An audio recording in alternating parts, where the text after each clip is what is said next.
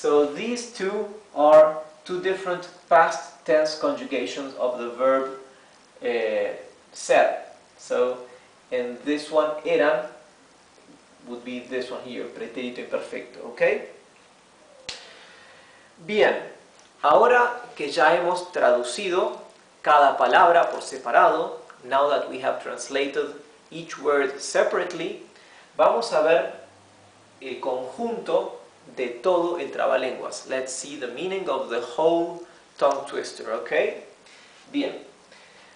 When you tell stories, count how many stories you tell. Because if you don't count how many stories you tell, then the then is implied, okay? You will never know how many stories they were. Then in Spanish, la palabra para then es entonces. Entonces means then.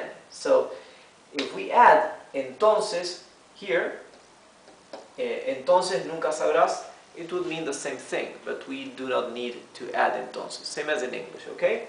Bien, ahora que ya entendemos el trabalenguas, ahora que ya entendemos cada palabra y el sentido del trabalenguas, vamos a leer en voz alta y despacio.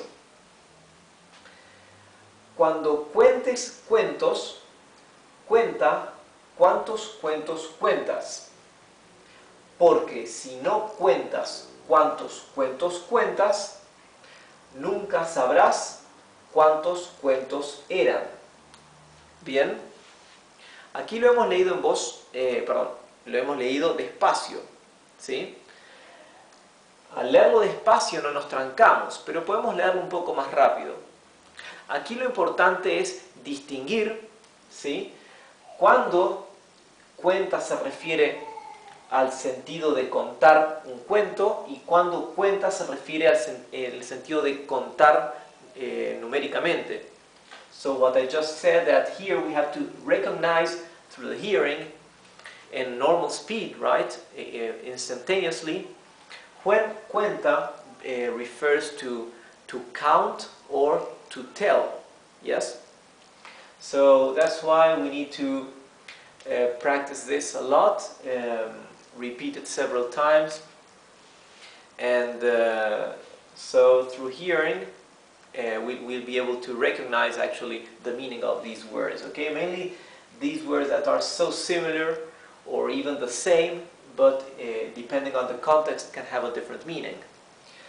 Bien, vamos a leerlo de vuelta, pero ahora lo leeremos en velocidad normal. Let's read it again, but this time in real speed.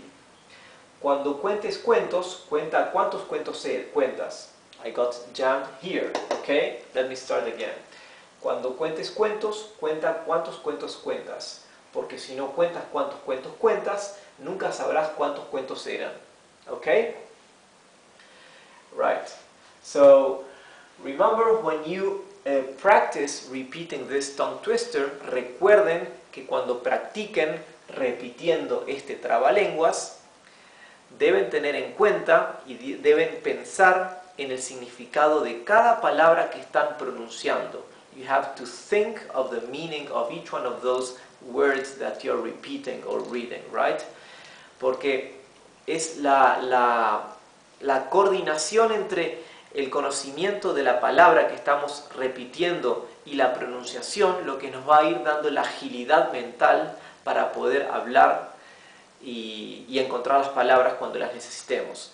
It is the combination or coordination of knowing the meaning of each word that we are reading or pronouncing that will give us the agility to uh, be able to use each one of these words whenever we need to use them, okay? Bien, con esto terminamos nuestra clase de hoy.